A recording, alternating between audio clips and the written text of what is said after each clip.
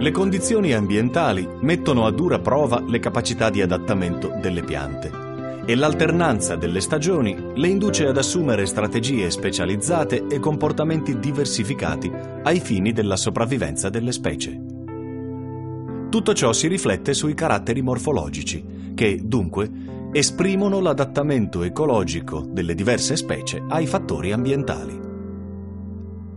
Così, ad esempio, quando sopraggiungono i rigori dell'inverno, alcune piante affidano la ripresa vegetativa ai loro semi resistenti, caratteristica che identifica il gruppo delle terofite.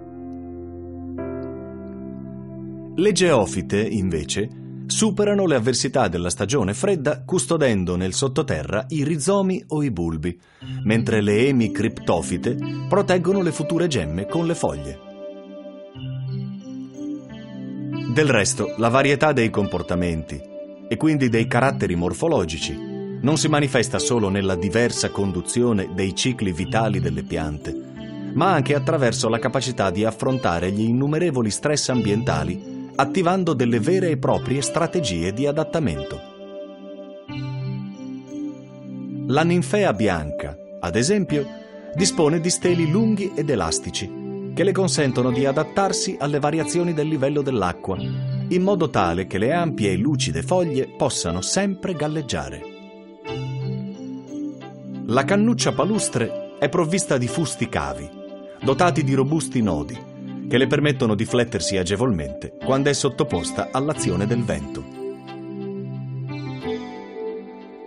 I peli fitti e lanosi del verbasco consentono a questa specie di affrontare l'aridità resistendo alla forte evaporazione e limitando le perdite d'acqua. Le foglie minuscole e carnose della salicornia, raccolte attorno al fusto succulento, assicurano alla pianta l'acqua necessaria, riducendo la superficie esposta all'aria ed evitando l'eccessiva evaporazione a cui è sottoposta lungo le spiagge.